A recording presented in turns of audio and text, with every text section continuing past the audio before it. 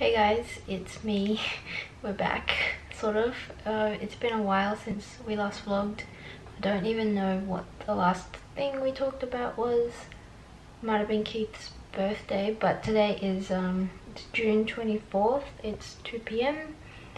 And I randomly decided to vlog today. I don't really know why. I just thought it'd been a really long time and we haven't vlogged in like a month just because um, one not a lot's been happening but also two a lot's been happening. But just like in our personal lives nothing as much nothing much has been happening. We're not doing anything. We're obviously not traveling anymore. Um, we, we don't even leave the house. We barely leave the house. I guess the the biggest update I can give you is um I got my hair cut and colored. That's pretty much it that was the one and only time I've taken the train anywhere here or even left our suburb really. We haven't like literally we're, we're doing nothing. We did um, buy some board games though. We, we've been playing that. Like we got two player Catan and that's really fun. Um, but yeah. Oh we got these shelves bookshelves. I think in the last vlog we talked about we got some new Ikea stuff and yeah, the bookshelves are some of those things. We were also adults and we got a vacuum. This is the Dyson V7.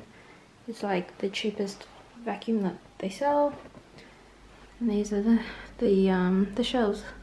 They're actually I think bathroom furniture, but I wanted small shelves for in here, so we went with those. And we while we were unpacking stuff, we got all of our gachas from Japan again. Oh, and I got a, a plant and yeah, like this old stuff that we've had sitting in storage. Finally got it out again. This is this is Keith's shelf, by the way, and that's more, more mine. Don't really have a good spot to put the camera on because holding it gets really tiring. So I'm just gonna like sit it on my desk and awkwardly bend down. This is just gonna be like a really random vlog mostly where I'm just rambling and things. Yesterday, um, Keith and I started watching this guy on YouTube who was cooking a lot of like Korean panchan, which is like side dishes, and it made me really want to start cooking more side dishes because we did that a lot in Montreal.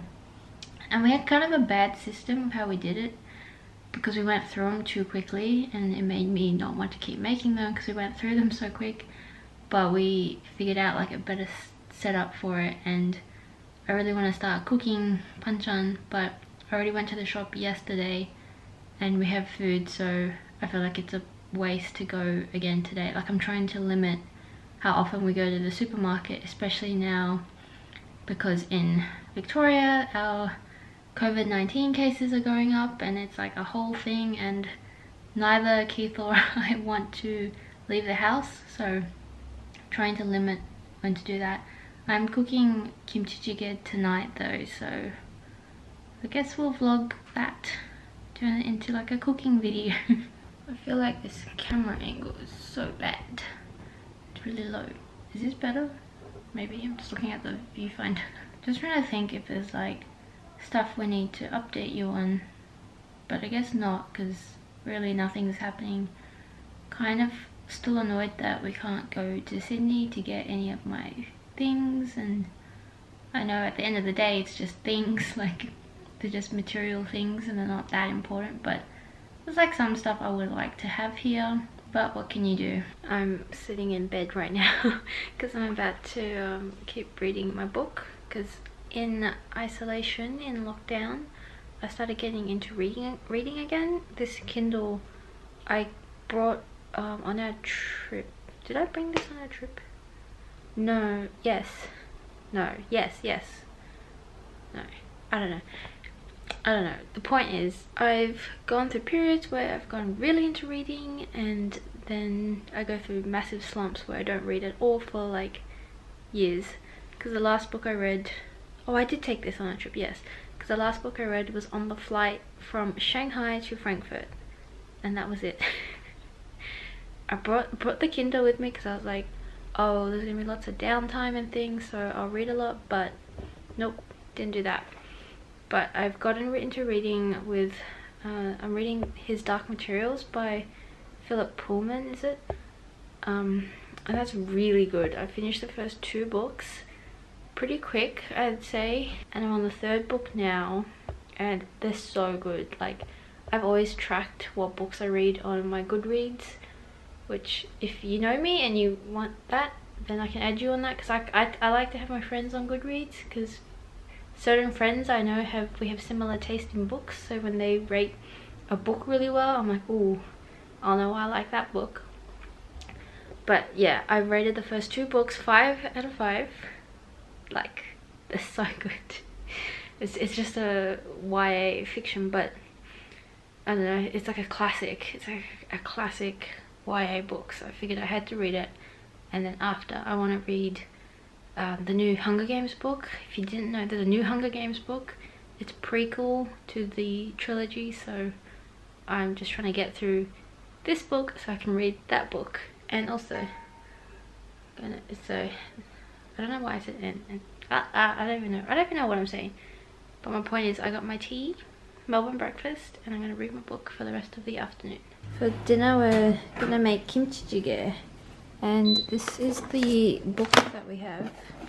It's called Korean Food Made Easy. Bought this at Costco a few years ago. I don't know if they still sell it but we're gonna try this recipe. I normally do a different one but this is the one in the book so I want to give it a go. So step one is get about this much pork belly and chop it up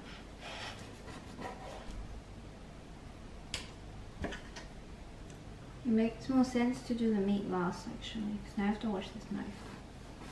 Do you like our new milk bottle? We're obsessed with minor figures at the moment. I have a bunch of the chives. And then you want to get a onion and just slice it. Mm. Oh, it's so stingy. Why are you crying? Stingy. Don't cry for the oh onion. God, it's so oniony. Don't cry for the onion. He had a good life. But now he's dying.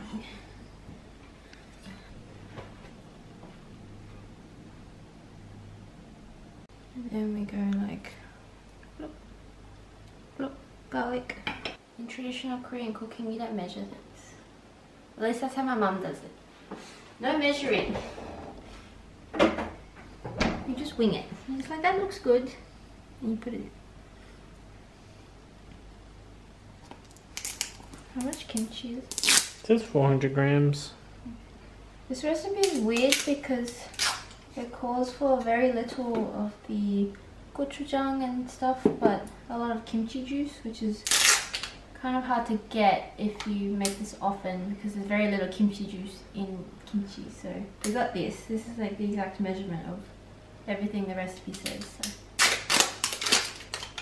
Hopefully there's enough juice in it. It reckons you need 150 mils of kimchi juice. Which I don't think you're going to get from that little bit of kimchi. Hey, this would be a good jar, a little container to reuse. It's so cute.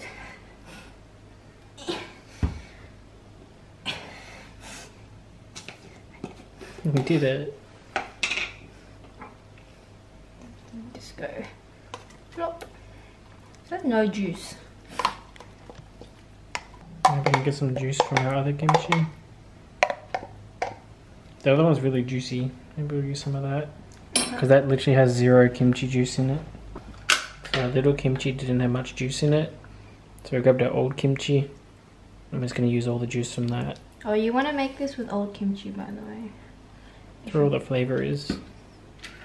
Like really fermented kimchi. How much is left in that one? A fair bit. Oh, okay. Oh, yes, plenty. There was enough liquid. Was that 150 mils of kimchi juice? Nope. And then you want soft silken tofu. Come on. Come on.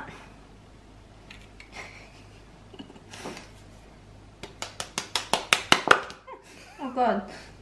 Okay.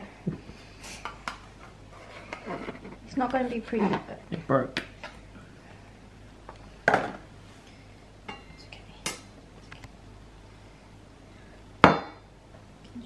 okay. Jigsaw piece it together. There we go. And then you want to chop it into. Well, I like to chop it into little cubes because I don't like the big cubes. It really smells like kimchi. I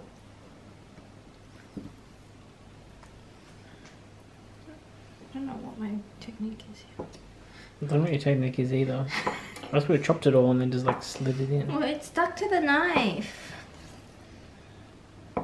I'm not claiming to be a professional. it's very ugly. And then you want to get enoki mushrooms. These are the ones at the supermarket. They're a bit funny looking. But they came in like a medley thing, so it'll be a little bit different than normal, but whatever. And you just pop them in as well. Keith hates these mushrooms. Well, not hates, but they're stringy and, and they get stuck in his teeth. And we have these ones. I don't know what these mushrooms are called, but I really like them. So we're going to pop them into. I'm not used to having these mushrooms in it. And then, Hope this tastes good. so this is gochujang. This is where all the flavor comes from. And it says a teaspoon. Oh, I think I was looking at this recipe as well, and it, they also don't call for anchovy stock, which is like the basis for every Korean soup. So should be interesting. And then how about gochujang? Is a Teaspoon. red pepper flakes. A teaspoon. Okay. Gochujang. No, this is gochujang. Gochujang. Isn't that what I said? No, you said gochujang. No, I didn't. Yeah, you did. No, you're good. tape. It's on tape. We'll go back and see that. Gochujang. Tablespoon of soy. So like, how much? Uh, And then, how much sesame? tablespoon. Tablespoon of sesame. Soy seems a bit weird. Tablespoon of mirin. Where's estimating a tablespoon? We don't actually have a tablespoon measurement. No. And a tablespoon of vegetable oil. It's a bit weird, but whatever. Salt, pepper, enough water to cover it. It's heavy. Yeah. Yeah. Just ignore how dirty our kitchen is. It's midweek, we haven't cleaned it yet. And then you just let it boil. Oh, I should give it a mix first. Yeah, give it a mix.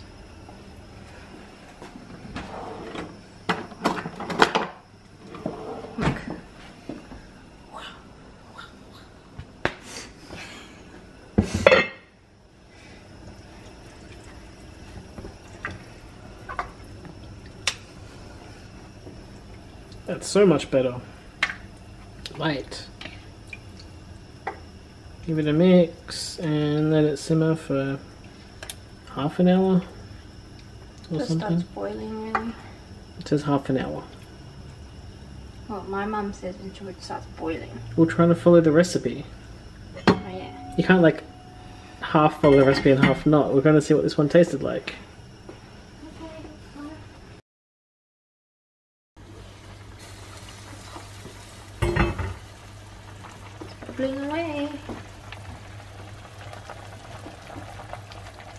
I'm worried that it's not going to have enough flavour.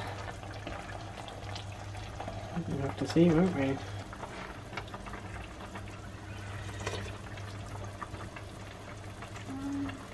It's like okay. We're going to need more salt. It's like lacking a deep flavour. It's better than um when we tried it the first time. I like it. Really? Yeah.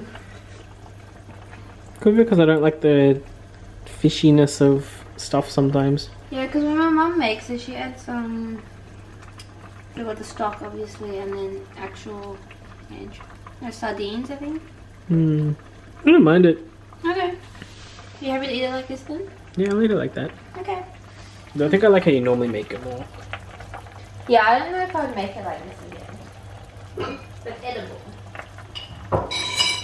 And and we already made some rice. You need rice, obviously.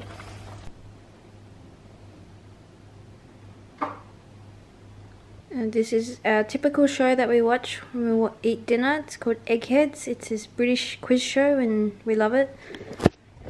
And we're just gonna have dinner and then that'll be the end of the vlog. What are you doing? What are you doing? Alright, anyways, thanks for watching and we'll see you guys next time. Bye!